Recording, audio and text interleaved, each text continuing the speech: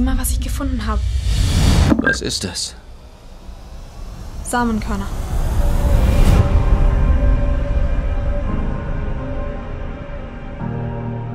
Wir sind uns so ähnlich, wir beide.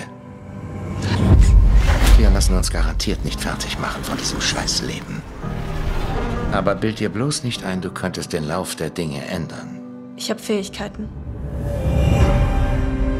Die habe ich mir selbst beigebracht.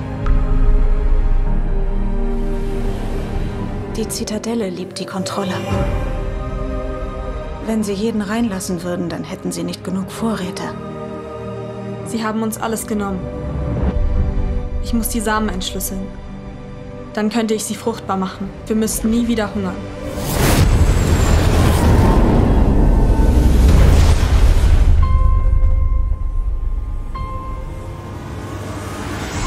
Ich heiße Camellia.